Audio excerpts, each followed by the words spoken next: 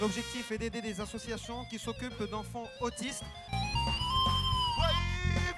جوهرة الشرقي سكينة بن موسى سحر غماد خالد الزكاري زكريا العافية وأيوب الحيري غيلتحقوا بي هنا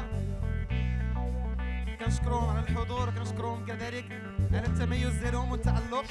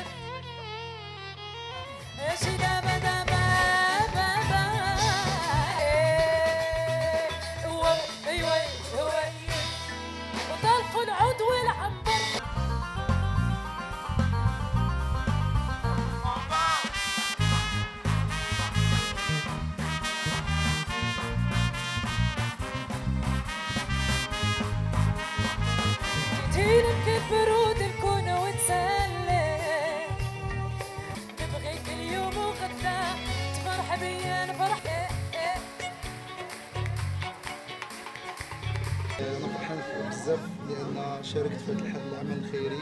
اللي نظمته المؤسسة ديال لاشوان